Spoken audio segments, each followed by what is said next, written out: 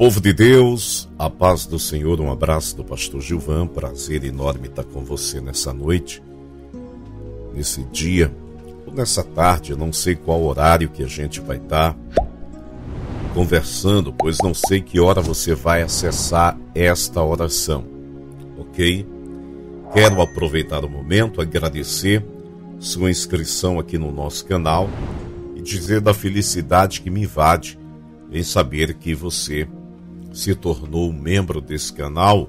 Com sua ajuda, iremos crescer e alavancar cada vez mais nossos conteúdos. Você que tem ajudado esta obra de alguma forma, meu muito obrigado. Amém? Essa oração é uma oração muito importante, muito forte. Estaremos orando contra o espírito da pobreza que ataca muitas pessoas e as deixam sem nenhuma perspectiva de vida. O que limita o ser humano é a falta de ação, é a falta de iniciativa. O que vai levar muitas pessoas à pobreza é dormir demais, segundo a palavra de Deus. Antes de eu entrar no versículo e na oração, eu quero que você já deixe seu like agora. Se possível, vamos levantar para este vídeo 200 likes ok? Quero aproveitar agora o momento e pedir também para que você já deixe seu pedido de oração. Se você está enfrentando algum problema na área financeira, eu vou estar tá orando por todos os pedidos. Faça os nossos propósitos. Todas as campanhas que acontecem aqui semanalmente trazem benefícios para a sua vida financeira. Amém? Quero compartilhar com você no livro de Provérbios, capítulo 6, e apenas três versículos que diz assim a partir do 9. Até quando você vai ficar deitado preguiçoso? Quando se levantará do seu sono? Versículo 10. Tirando uma soneca, cochilando um pouco, cruzando um pouco os braços para descansar, a sua pobreza o surpreenderá como um assaltante, e a sua necessidade lhe virá como um homem armado. Ok?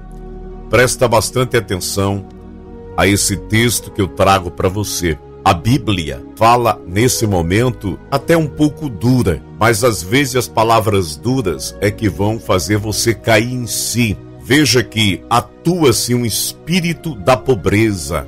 A Bíblia fala sobre esse espírito da pobreza. E como é que esse espírito da pobreza ele geralmente chega na vida das pessoas? A Bíblia também dá a dica. É preciso você ler a Bíblia, estudar a Bíblia para você aprender. Ele fala que o caminho do espírito da pobreza vem pela preguiça. O preguiçoso vai mais cedo ou mais tarde, está mendigando, está numa necessidade e vê a sua vida na miséria mesmo. Entende?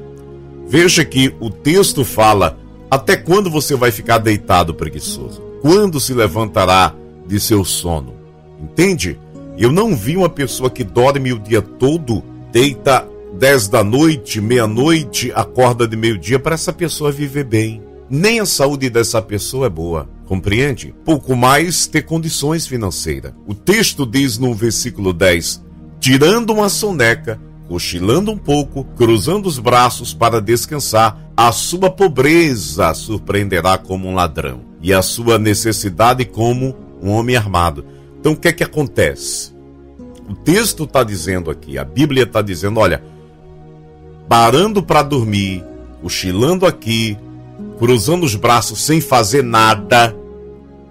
Veja o que é que o texto diz: tirando uma soneca, que é aquele sono rápido, cochilando, né, que é aqueles cochilos rápidos, cruzando os braços para descansar, vem a pobreza. Ou seja, a Bíblia diz que todo ser humano tem que trabalhar, tem que estar em atividade. O princípio da riqueza é trabalho. As coisas não acontecem sem trabalhar. Quero ser YouTube, quero ter um canal, vai ter que gravar vídeos diariamente. Você vai ter que se interessar. As coisas não acontecem na vida de quem descansa demais. Não é tempo de descansar, é tempo de trabalhar, é tempo de agir. As coisas só acontecem na vida daquele que tem atitude, que se levanta e age. O texto é claro. O espírito da pobreza vem pela preguiça. Então é hora de você se levantar, de agir, de tomar ação. Repreender e orar só não vai resolver tua vida. Você precisa tomar uma ação, enfrentar esse problema. Veja que é o que o texto diz: tirando uma soneca, cochilando um pouco, cruzando os braços para descansar, a pobreza o surpreenderá como um assaltante. Está vendo aí?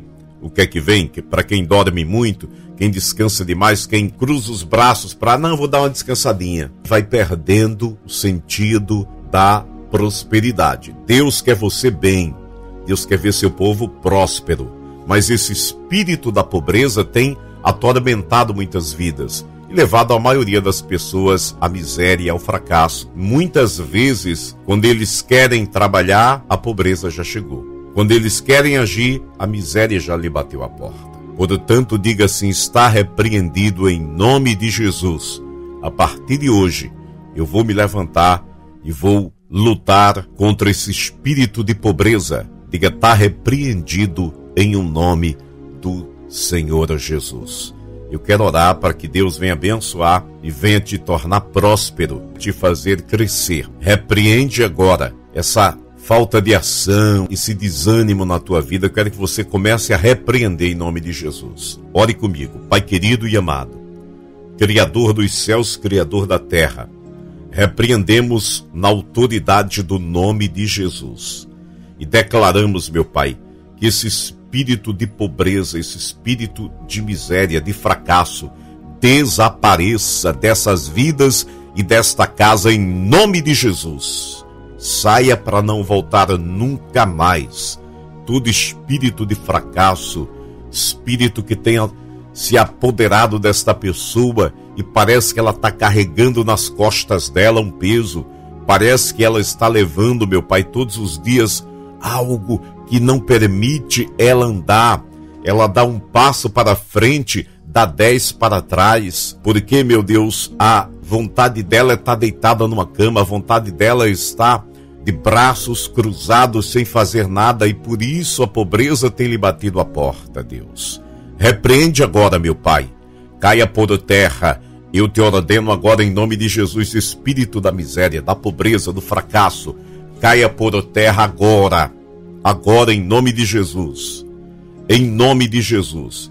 Que a partir de hoje, meu Deus, essa pessoa que vive uma vida de desânimo venha ter coragem para agir e sair dessa situação. Só ela pode tirar ela mesma dessa situação de miséria.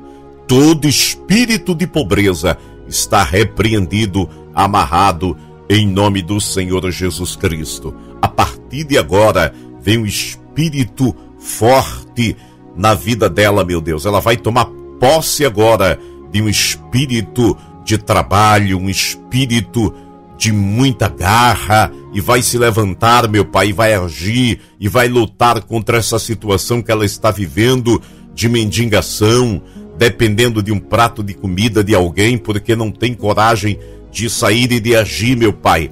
Que essa pessoa a partir de agora abra seus olhos espirituais. Em nome de Jesus. Em nome de Jesus, toma posse agora, minha amiga, meu amigo, você que chegou a este clamor, você que chegou a esta oração, da cabeça até a planta do pé, eu desejo agora, em nome de Jesus Cristo, que você seja tocado, que você seja tocada, da cabeça à planta do pé agora. Em nome do Pai, do Filho e do Espírito de Deus, se prepara aí agora, eu vou ministrar uma libertação forte agora na tua vida. Enquanto você está clamando, enquanto você está orando, eu declaro sobre a tua cabeça agora, em nome de Jesus, todo espírito de desânimo, de miséria de pobreza e de fracasso, sai em nome de Jesus. Sai em nome de Jesus. Que a partir de agora, essa pessoa se levante, tenha coragem para trabalhar, para agir, ela seja uma pessoa determinada. Eu declaro agora em nome de Jesus, em nome de Jesus está repreendido todo espírito de pobreza na sua vida e nos seus descendentes. Diga eu declaro sobre a minha vida o espírito de vencedor, o espírito da prosperidade de Deus na minha vida, em nome de Jesus, em nome de Jesus. em nome de Jesus. Amém? O seu corpo foi preenchido pelo Espírito da prosperidade de Deus. Diga eu creio. Que Deus abençoe sua vida, a sua família, a sua casa, a sua vida. Em nome do Senhor Jesus. Um tempo novo está sendo transformado agora na tua vida. Seja inscrito neste canal, se não é, faz sua inscrição agora aí. Deixe o seu pedido de oração. Deixe aí também o seu testemunho. Diga o que você sentiu nesta oração enquanto orávamos. Amém? Fica na paz até a próxima oração, se Deus quiser.